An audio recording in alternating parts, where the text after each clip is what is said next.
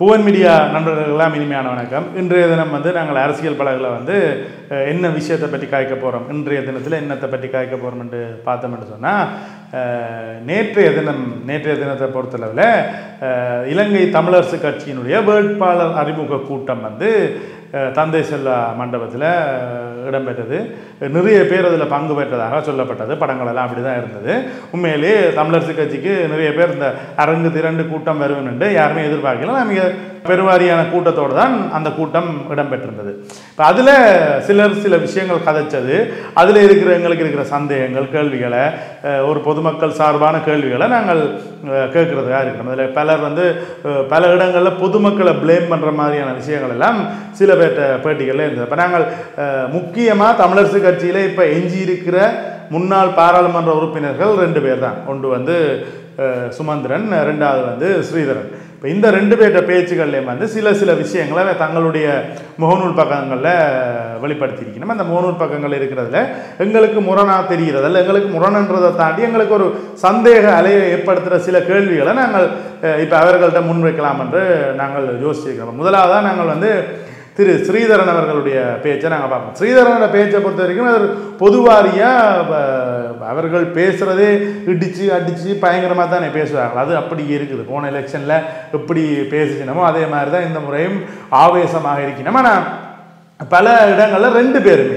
குறிப்பாக சுமந்திரனாக இருந்தாலும் சரி ஸ்ரீதரனாக இருந்தாங்க. ரெண்டு பேருமே நாங்கள் மூன்று முறை பாராளுமன்றத்தில் இருந்தோம். பதினைந்து வருடம் பாராளுமன்றத்தில் இருந்தோம். இப்போ எங்களுக்கு ஒரு ஆணையதாரங்கள் என்ன மாதிரியான பேச்சு? அப்போ மக்கள் மத்தியில் இருக்கிற பெரிய பிரதான பிரச்சனையை வந்து நீங்கள் மூன்று வருஷம் மூன்று தரம் பாராளுமன்றத்தில் இருந்துமே என்ன செய்த நீங்கள் என்றதான் கேள்வியாக இருக்கு. இப்போ குறிப்பாக சுமந்திரனுடைய ஆதரவாக நடுவில் போட்டுவாங்க. இப்போ அரசியலமைப்பு யார் இப்போ வந்து அவர் வரைந்தார் அதை துவங்கினார் என்ற மாதிரியான விஷயங்கள் எல்லாம் போட்டிருந்தாலும் கூட அது ரெண்டாயிரத்தி இருபது தேர்தலே அது பேசுபொருளாக இருந்தது.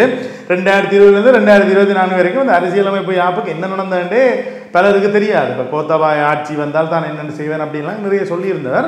அது சாத்தியம் இல்லாமல் போகலாம். தீர்வுன்றது ஒரு நாளில் கிடைக்கிற விஷயமா கூட இருக்காது. ஆனால் அது தொடர்பான அடியெடுப்புகள் என்னவா இருந்தது என்றது மாதிரியான கேள்விகள் மக்கள் மத்தியிலே பயங்கரமாக இருக்குது. ரெண்டு பேருமே எங்களுடைய அரசியல் பகல் நிகழ்ச்சிக்கு வருவினம் என்று நாங்கள் எதிர்பார்க்குறோம். ரெண்டு பேர்கிட்டையுமே கேட்டிருக்கிறோம். இன்னும் சரியான பதில்கள் வரையில. அது வர்ற பட்சத்தில் நாங்கள் அந்த சந்தேகங்களை அதில் கேட்டு தெரிஞ்சு கொள்ளலாம் இந்த அரசியலமைப்பு யாப்பு மற்றது இனப்படுகொலைக்கான தீர்வுகள் என்ன மாதிரி இருந்தது அந்த குற்ற விசாரணை எப்படி இருக்க போகுது என்றது மாதிரியான கேள்விகள் எல்லாம் நாங்கள் இந்த முறை கேட்க போகிறோம் இதில் நாங்கள் கண்டுபிடிச்ச ஒரு மிக பிரதானமான விஷயம் ரெண்டு பேருமே. ஸ்ரீதரன் மற்றும் சுதந்திரன் அவர் ரெண்டு பேருமே மிக கவர்ச்சிகரமாக நல்லா பேச ஆரம்பிச்சிருக்கீங்க மேடைகள் என்றது அது மூணு பதினஞ்சு வருஷம் பார்லிமெண்ட்ல இருந்தால் ஒரு அனுபவம் ஒன்று கிடைக்கும் தானே. அந்த அனுபவத்தில் நல்லா இடிச்சு உரைச்சு வெடிச்சு துள்ளி குதிச்செல்லாம் நல்லா அழகாக பேசினோம். வாழ்த்துக்கள். நீங்கள் தொடர்ந்து பேசி உங்கள் மக்கள் தொடர்ந்து ஓட்டு போடுவார்கள் என்று நாங்கள் நம்புகிறோம் என்று நான் நீங்கள் நம்புறீங்கள். நாங்களும் அந்த பேச்சை பார்த்து நம்புகிறோம் சரி இப்போ அதில் எங்களோட சந்தேகங்கள்? நியாயமான தர்மமான எங்களோட சந்தேகங்கள் சிலதை நாங்கள் பார்ப்போம். முதல் வந்து ஸ்ரீதரன் ஐயா வந்து தன்னுடைய மாவட்டம் தன்னுடைய மோனூல் பக்கத்தில் ஒன்று போட்டிருக்கு. அம்பாறை திருவண்ணாமலை. மட்டக்கிழப்பிலே ஐந்து பேர் திருவண்ணாமலை மம்பாறை உங்களுக்கு ஒவ்வொன்று தான் கிடைக்கலாம். ஆகவே நாங்கள் அந்த நாலு ரெண்டு ஆறு எடுத்தால் கூட நாங்கள் ஒரு பதினான்கு எடுத்தாலே எங்களுக்கு உண்டு அல்லது ரெண்டு தேசியார் ஆசனங்களை பெற முடியும். அதனால் தான் நான் உங்களிடம் சொல்லுகிறேன் நாங்கள் பதினைந்து பாராளுமன்ற உறுப்பினர்களாக இருந்தால் இந்த தேர்தல் களம் தம்பி பிரகாஷ் சொன்னது போல இந்த களம் எங்களுக்கான ஒரு மாற்றத்தை தருகின்ற களமாக மாறும். இல்லை நாங்கள் அதில் இருந்து நாங்கள் பின்வாங்கினால் எங்களுடைய மக்கள் சரியான முடிவுகளை எடுக்க தவறினால் நாங்கள் தோற்று போன இனமாக மாறிக்கொண்டே எங்கள் சரி இதில் ஒரு ஒரு பிரதான ஒரு விஷயம் சொல்லியிருந்தார்.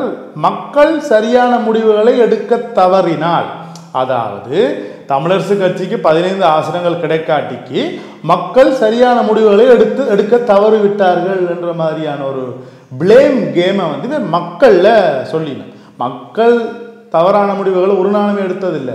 தமிழரசு கட்சிக்கோ அல்லது தமிழரசு கட்சின்றதை விட தமிழ் தேசிய கூட்டமைப்புக்கு மக்கள் எந்த மாதிரியான ஆதரவை வழங்கினன்றதுக்கு நீங்கள் சும்மா சாதாரணமாக விக்கிபீடியாவில் இப்போ எலெக்ஷனை பற்றி தெரியாதாக்கள் அரசியல் தெரியாதாக்கள் போய் பாருங்க விக்கிபீடியாவில் தமிழரசு கட்சியினுடைய வீழ்ச்சி எப்படி இருந்தது இந்த பதினஞ்சு ஆண்டுகளில்?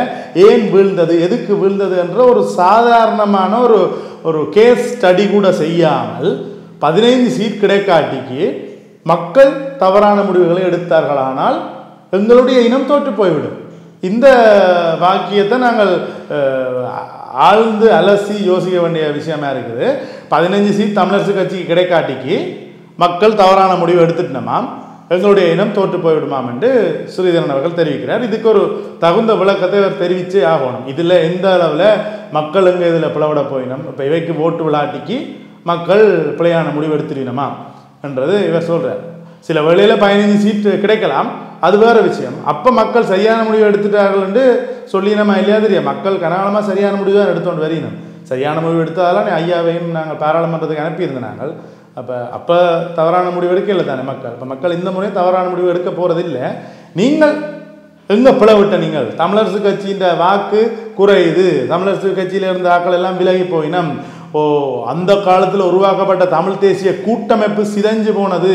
இதுக்கான காரணங்களை நீங்கள் கண்டறிஞ்சினீங்களா? அதற்கான திருத்தங்களை செய்தீங்களா? அல்லது குறைஞ்சபட்சம் அதை நீங்கள் ஒப்புக்கொண்டனீங்களா தமிழரசு கட்சியிலேருந்து தமிழ் தேசிய கூட்டமைப்புலேருந்து தமிழரசு கட்சி இப்போ தனித்து வந்து நிற்கிது தமிழ் தேசிய கூட்டமைப்பே இல்லை.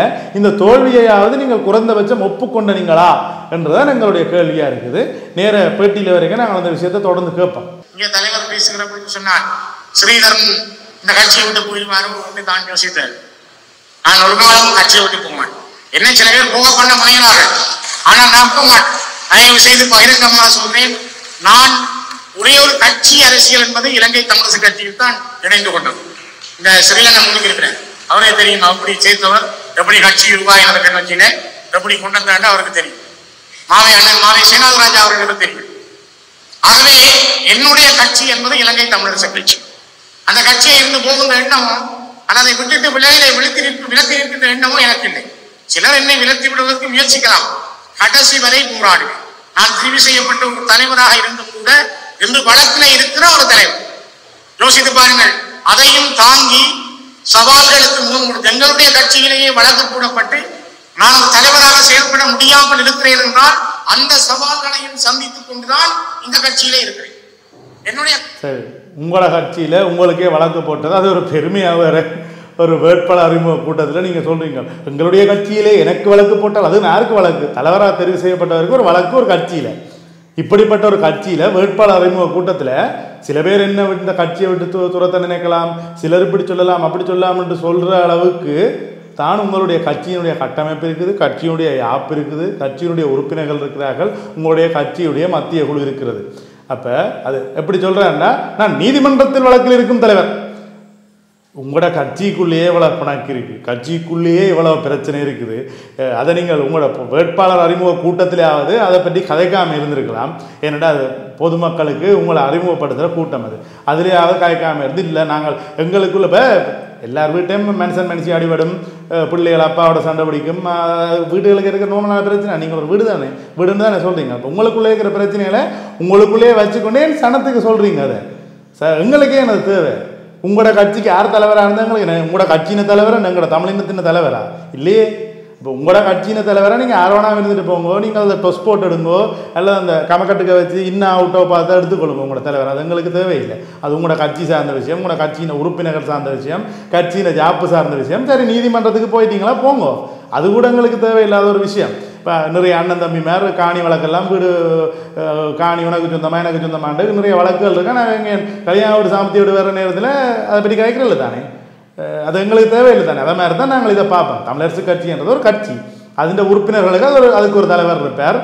அது அதான் வேண்டிய பிரச்சனை? மக்களுக்கு அது தேவையில்லாத ஒரு விஷயமா தான் நாங்கள் பார்க்குறோம். அதை நீங்கள் ஃபேஸ்புக்லேயும் தூக்கி போட்டிருக்கிறத வந்து ஒரு தேவையில்லாத விஷயமா தான் நாங்கள் பார்க்குறோம். குறிப்பாக தேர்தலை எதிர்கொள்ள ஒரு ஒரு மாதம் மட்டும் இருக்கிற நிலைமையில் உங்களுடைய ஒற்றுமையை எப்படி சந்திச்சு இருக்கிற நிலைமையில் நீங்கள் என்னென்று மற்ற கட்சிகளை சேர்த்து இணைச்சி பதினஞ்சு பேர் என்னென்னு நீங்கள் கூட்டி கொண்டு போய் எங்களுக்கான தீர்வு திட்டத்தை காய்க்க போகிறீங்க அஹ், இவையோட காய்க்க போகிறீங்கன்றது எங்களுக்கு விளங்காம விளங்காமல் தான் இருக்குது நாங்கள் காய்க்கல பிள்ளை இருந்தால் நீங்கள் கருத்தில் உங்களோட கருத்தை சொல்லுங்கள் இல்லை தம்பி நீங்கள் காய்க்கிறது பிள்ளை தமிழ் தமிழரசு கட்சி அப்படி இப்படின்னு சொன்னால் கட்டாயம் நீங்கள் போடுங்க. ஆனால் இப்படி தான் எங்களுக்கு ஒரு பொது பொதுவாக பார்க்கல இப்படி ஒரு கருத்து தான் இதில் காணப்படுது. நாங்கள் தளர்ந்து போனால் நாங்கள் அதிலிருந்து விட்டு விலகி சென்றால் நாங்கள் கொஞ்சம் தள்ளி போனால் வரலாறு எங்களை தூக்கி எறியும் இயற்கையும் வரலாறும் ஒரு காலமும் தவறு விடாது இடைவெளிகளை வைக்காது. இயற்கை ஒருவர் இல்லை என்றால் அந்த இடத்துக்கு இன்னொருவரை தான் கொண்டு வந்து நியமித்தே தீரும் இதுதான் இயற்கையினுடைய வரலாறு ஆகவே இயற்கை எப்பொழுதும் எங்களோடு இல்லை. நாங்கள் தர்மத்தின்படி நடக்கின்றவர்கள்.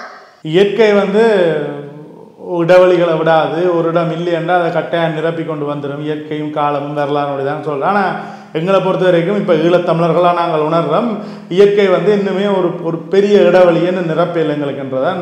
அதுவும் இந்த மாதிரியான ஆக்களோட பேச்சுகள் இந்த மாதிரியான அரசியல்வாதிகளுடைய நடவடிக்கைகள் எல்லாத்தையும் பார்க்கல வந்து அப்படி தான் என்ன தோணுது. இயற்கை வந்து மாற்று இடம் எங்களுக்கு தரையில்லை அந்த இடம் வெற்றிடமாகவே இருக்குது என்றதான் நாங்கள் சொல்லுவோம் இந்த இந்த விஷயத்தோட நாங்கள் ஒத்து போக மாட்டோம் இயற்கை வந்து எங்களை ஏமாத்தியிருக்குன்னு சொல்லலாம். இந்த விஷயத்தில் அது பார்த்துட்டு இருக்கிற உங்களுக்கும் தெரியும். ஏன்? இந்த விஷயத்தை இவர்கள் கேட்டாலும் அவர்களும் அதை ஒப்புக்கொள்ள தான் வேணும். அடுத்தது வந்து இந்த பேச்சின் ஆரம்பத்தில் சில அந்த நல்ல நல்ல விஷயங்களை கட் பண்ணி கட் பண்ணி முன்னுக்கு போடணும் தானே. அதை பார்த்துட்டு வருவோம்.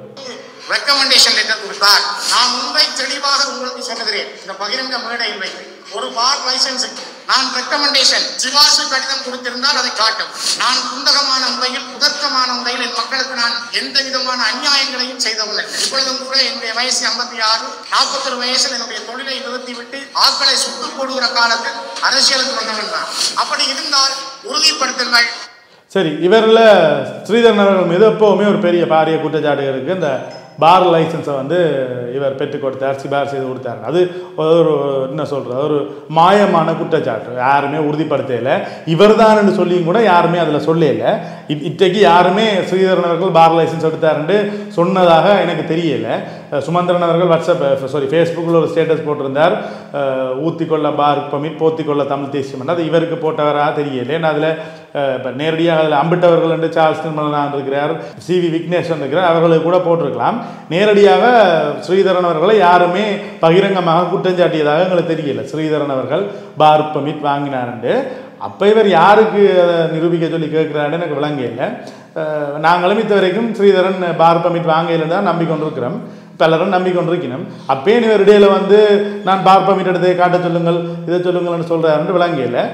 அப்படி ஆதாரம் இல்லைன்னா இல்லை தானே அது இல்லையாண்டா இல்லை தானே இப்போ அதை அதை இடிச்சுரைச்சு சொல்லணும்ன்ற அவசியம் இல்லை. அதை பார் பமிட் வாங்கல.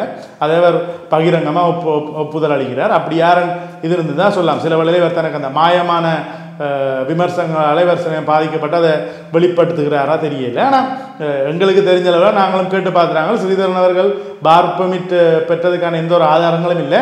ஆனால் அந்த அனுரகுமார திசாநாயக் அவர்கள் வந்து எங்களுடைய ஜனாதிபதி வந்து இந்த பார் பெர்மிட் லைசன்ஸ் எடுத்தவர்களுடைய லிஸ்ட்டை வந்து விடுறதா சொல்லியிருந்தவர். அந்த லிஸ்ட் விடப்படவில்லை. அந்த லிஸ்ட் விடுறதுக்கு முதல் நாள் இவர் வந்து ஜனாதிபதியை சந்தித்ததால் சில வேளைகளில் வந்து அப்படி ஒரு சந்தேகம் மக்களுக்கு இருக்குது வேற ஒன்றும் இல்லை. அப்போ ஜனாதிபதி அவர்கள் அந்த லிஸ்ட்டை விட்டோன்னா அது ஆட்டோமேட்டிக்காக அந்த விஷயம் எல்லாம் தெரிஞ்சிடும் எடுத்து வினமா இல்லையாண்டா அதை பற்றி கூட நாங்கள் யோசிக்க தேவையில்லைண்டா ஓப்பனாக தெரிஞ்சவர்களை நாங்கள் விமர்சிக்கலாம். இதை பற்றி விமர்சிக்க வேண்டிய தேவையில்லை. இது ஒரு மிக முக்கியமான பாயிண்டாக இதை கலைக்கணும் என்ற அவசியம் இல்லை என்று நாங்கள் நினைக்கிறோம் ஸ்ரீதரன் பொறுத்த வரைக்கும் காரணம் நீங்கள் நேற்று வீடியோவில் நாங்கள் பார்க்க நீங்கள் பன்னெண்டாவதாக இருந்து நீங்கள் அகில இலங்கை ரீதியில் பாராளுமன்றத்துக்கு போனதுக்கு. அப்போ நீங்கள் அந்த விஷயத்தில் நீங்கள் உறுதியாக இருந்தால் அதை பற்றி கலைக்கவே தேவையில்லை நினைக்கிறேன். நீ மேடைகளில். அடுத்தது வந்து திரு எம் ஏ சுமந்திரன் அவர்கள் என்னென்னலாம் கதைச்சிருக்கிறார் அவர்கிட்ட முழு வீடியோவும் எங்களுக்கு கிளியரான ஆடியோவோட கிடைக்கல. அதெல்லாம் பார்க்க பார்க்க கிடைக்கல. ஒரு ரெண்டரை நிமிஷம் கட் வந்து அவர்கிட்ட அவர்கிட்ட ஒரு மிக தீவிரமான ஒரு என்னென்னு சொல்கிறது தொண்டர்ன்னு சொல்கிறதா அல்லது ரசிகர்ன்னு சொல்கிறதா அல்லது வாக்காளர் தான் நேவர் வாக்காளர்னு சொல்லலாம். இல்லை ஆதரவாளர் என்று சொல்லலாம். ஒருத்தர் போட்டிருக்கிறார் இதுவரை காலமும் பறைசாற்றிக் கொண்டிருக்கிற கட்சி தான் பாரிய அணியாக பாராளுமன்றத்துக்கு செல்ல வேண்டும் அண்ணன் சிறிதரன் சொன்னார் மூன்று பேர் இந்த கட்சி ரெண்டு பேர் அந்த கட்சி ஐந்து பேர் இன்னொரு கட்சி பிரயோஜனம் இல்லை. சிந்தித்து பாருங்கள் வடக்கன் கிழக்கும் எங்களுடைய தாயகம் என்று சொல்லுகிறோம். இன்று வடக்கிலிருந்தும் கிழக்கிலிருந்தும் ஒரு அணியாக பாராளுமன்றத்துக்கு செல்லக்கூடிய கட்சி எது? ஒரு கட்சி இருக்கா? ஏதாவது ஒரு கட்சி ஒரு கட்சி இருக்கா? இன்றைக்கு கிடையாது. ஆளுமணியினால் தான் நாங்கள் கேட்கிறோம். இலங்கை தமிழரசு கட்சியை பலப்படுத்துங்கள். அங்கே இருந்து யார் போகிறார் என்பதில்லை முக்கியம்.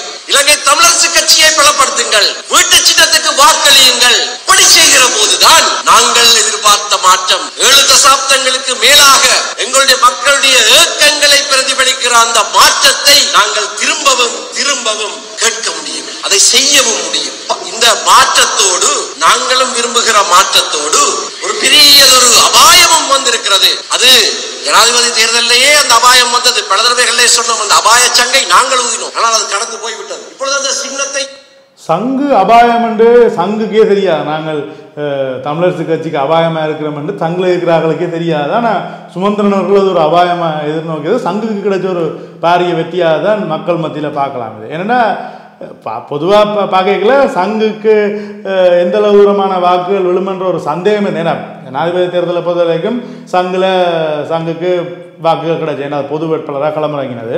இப்போ சும்மா சாதாரணமாக பார்க்கல சித்தார்த்தனர்கள் இருக்கிற அவர் தான் ஒரு முன்னாள் எம்பி. இந்த கரண்ட் எம்பியில் அவர் தான் ஒரே ஒரு முன்னாள் எம்பி அதில் இருக்கிறார். சசிகலா ரவிராஜ் அவர்கள் இருக்கிறார். மற்றது சுரேஷ் பிரேமச்சந்திரன் அவர்கள் இருக்கிறார். இவர்கள் எல்லாரும் எவ்வளோ எவ்வளவு தூரம் தமிழரசு கட்சியை டஃப் கொடுக்குற ஆக்கள்னு தெரியல.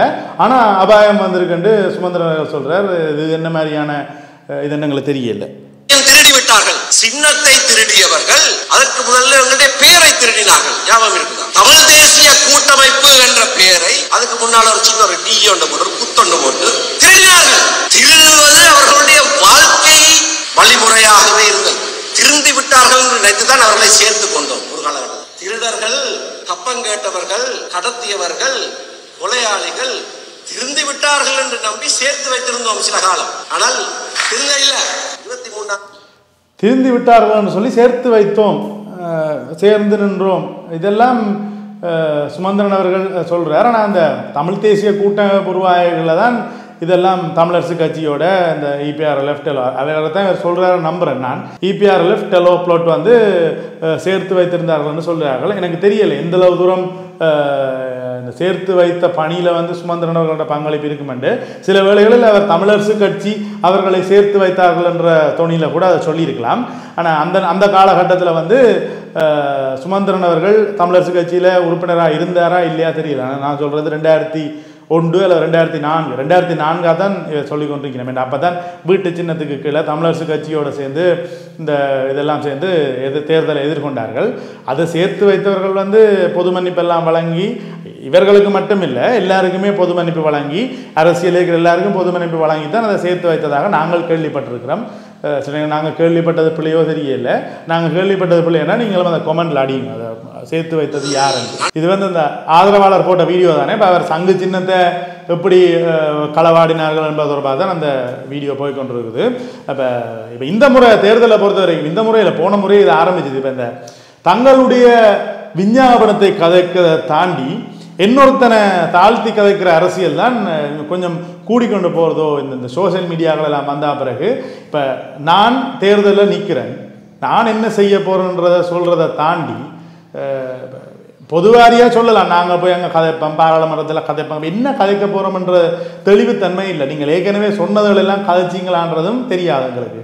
போன மூணு இப்போ பதினஞ்சு வருஷமாக தேர்தல் பதினஞ்சு வருஷமாக பார்லிமெண்ட்டில் இருந்து சொன்னதெல்லாம் காய்ச்சினமான்னு தெரியல எங்களுக்கு. அப்போ தங்களுடைய விஞ்ஞாபனங்களை தங்களுடைய கொள்கைகளை இன்னும் கொஞ்சம் எல்லாருமே சொல்லிட்டு இந்த மற்றவர்கள் மீது இந்த ஹேட்ரட்னு சொல்ல வெறுப்பை விதைக்கிறது இன்னொரு ஆளை பற்றி பிள்ளையாக காய்க்கிறது வந்து நிறுத்தி அரசியல் செய்தால் தானே ஒரு ஆரோக்கியமான அரசியலாக இருக்கும். அது ஒரு சமூகத்துக்கு ஆரோக்கியமான சமூகமாக நாங்கள் எங்களை கட்டமைக்கலாம். இப்போ பிள்ளையானவர்கள் எங்கேயுமே இருந்தோன்னா இருக்க போயிடும் எதிரிகள் இருந்தோன்னா இருக்க போயிடும். அவைக்கு நாங்கள் சம உரிமை கொடுத்து அவரோட இருந்து சண்டை பிடிக்கிறத விட எங்களுடைய நல்லதை வந்து எல்லாருக்குமே கொண்டு போய் சேர்க்கலாம்ன்றதை நாங்கள் ஒரு ஆலோசனையாக இல்லை அரசியல்வாதிகளுக்கும் சொல்கிறோம் அரசியல்வாதிகளுடைய ஆதரவாளர்களும் சொல்கிறோம் இப்போ நீங்கள் சார்ந்திருக்கிறவர் என்ன நல்லது செய்ய போகிறான்றதை மட்டுமே நீங்கள் கதைச்சா காணும்? அவர் கள்ளன் இவர் கள்ளன் அவர் அப்படி அதெல்லாம் சனத்துக்கு தெரியும் தானே. இப்போ எங்களுடைய குறிப்பாக எங்களுடைய ஈழத்தமிழ் சமூகம் வந்து நல்ல புத்திஜீவி சமூகமாக தான் பார்க்கப்படுகிறது. அவர்களுக்கு எது நல்லவர் எது கெட்டவர் யார் அது எல்லாமே தெரியும். அவர்கள் அவ்வளவு மூடர்கள் இல்லை அவ்வளவு மொக்கர்கள் இல்லை எங்களுடைய சமூகம்.